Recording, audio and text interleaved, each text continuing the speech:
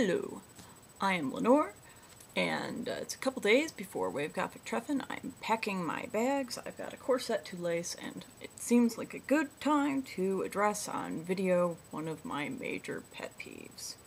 Improperly laced corsets, which I see all the time out at the clubs and anywhere you go. You see women who don't know what the hell they're doing see guys who don't know what the hell they're doing either because they also wear corsets.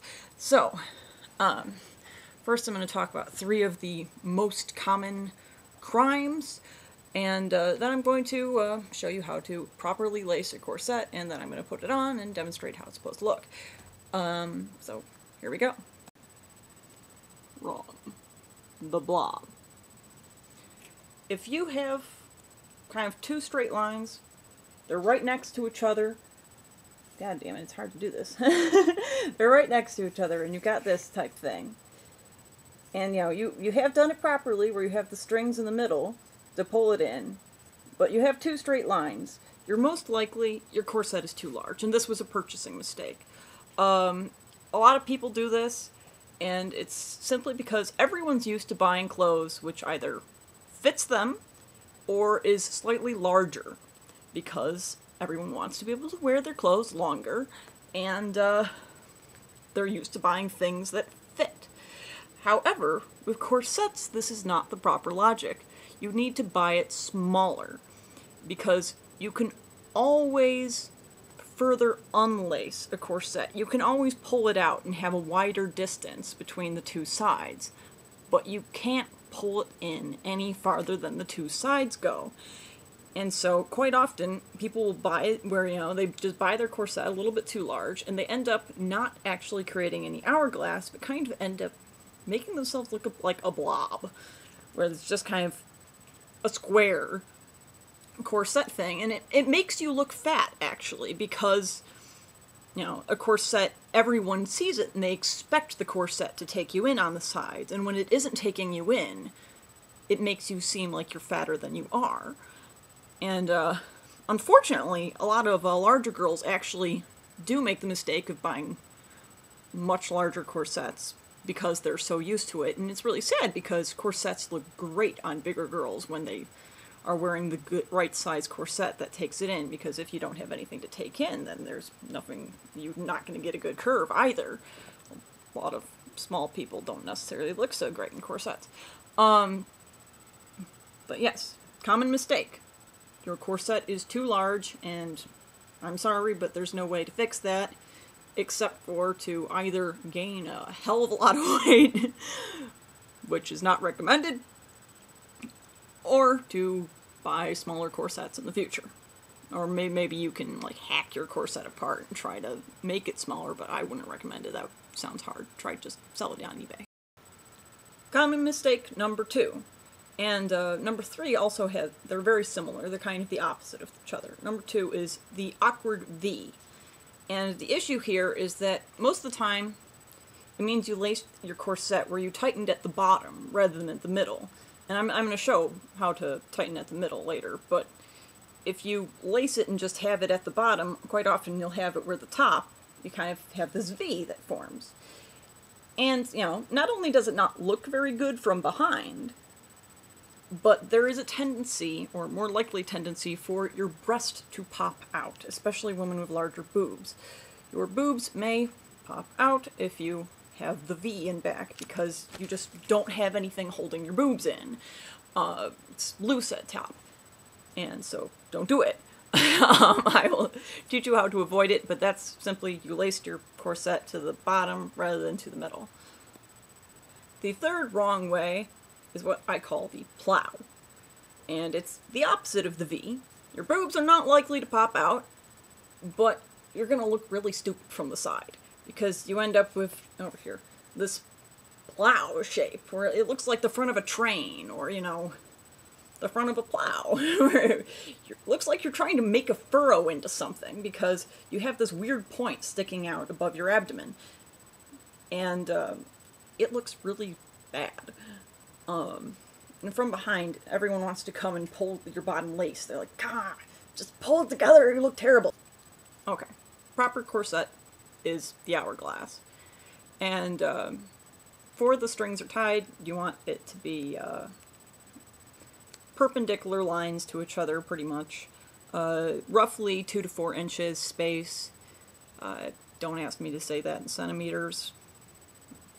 Um, if it's, you know, if it does touch in the very center when you pull it together, it's not too bad. But if it touches all the way, like with the uh, blob, the first one, then uh, then your corset is too large. As it is, if it's touching in the center, then you're kind of pushing it. And you know, I actually have that on a number of corsets. I you know I bounced back in size and weight. Everyone does, and uh, so sometimes I'll have corsets which will go further because I was bigger and then I lost weight. And on other occasions, those corsets will fit me fine because I gained back weight. Um, but yeah, when you pull the strings, it should echo the way your waist looks in that the side should kind of come together and the middle should be tighter than the uh, top and bottom. And you know, so, sometimes it'll look a little more extreme depending on if you have a tight lacer or not. And uh, matches the curve it creates. Now I'm going to show how to lace a actual physical corset because I have to lace this one before I go off on my trip. It may be a little difficult to see because I don't have very good lighting in my room, but I have put it on a uh, light, so hopefully that will help. And okay. typically a corset string is really freaking long. It's like a huge single shoelace. And so you're going to start at the top. Okay, I wish I had a time-elapse thing on this, but I don't know how to do time-elapse. But basically, you uh, let's just lace the corset down. Now you can, you know, in, out, doesn't matter, you know, how you like to do your crosses. You can, you know, have it where you always go over, or you can have where you always come from the inside. Just as long as you have it on the outside when you have your uh, loops. But I'll get to that when I uh, actually get to the loops. Until we're at the loops, it doesn't make much sense to mention them.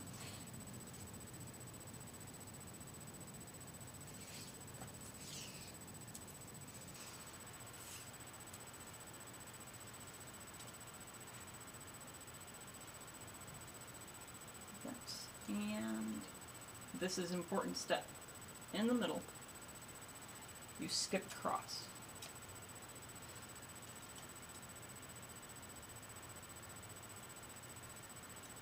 And you leave one out. That's where you're going to pull. You're going to grab a hold of these and they're going to be how you actually pull in your corset.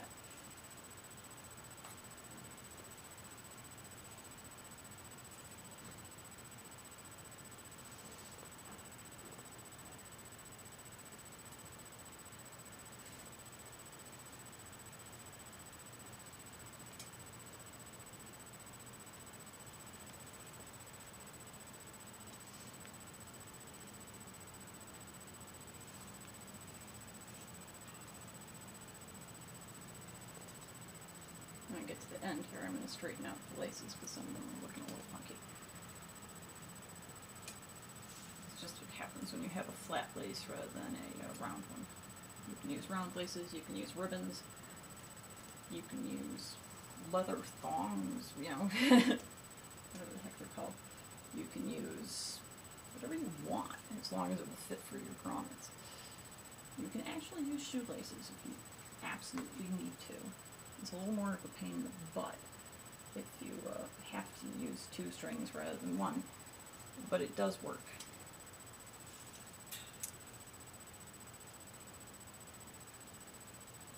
For that, you would uh, have one coming from the bottom and one coming from the top, and they meet in the middle, and that's where you have them go. Kind of. That's another important step for this type thing. Down here, tie a knot. Because you don't want it coming back through. And I didn't tie that knot far enough away.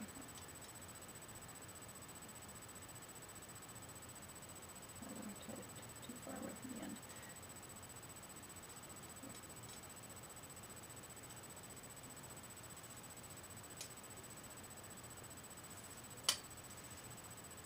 That is because you want it to be the middle, not the end.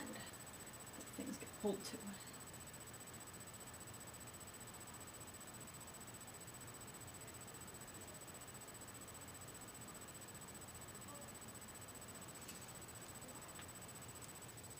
Okay, I fixed all the lacing so now they're lying flat where they were kind of off kilter before. Now, you can see you have it where the two main strings are in the middle. And uh, now I can put this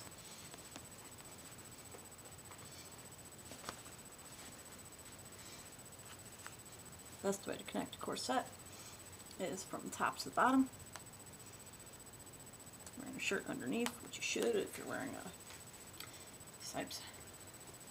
Then you see you grab those two lacings you left out.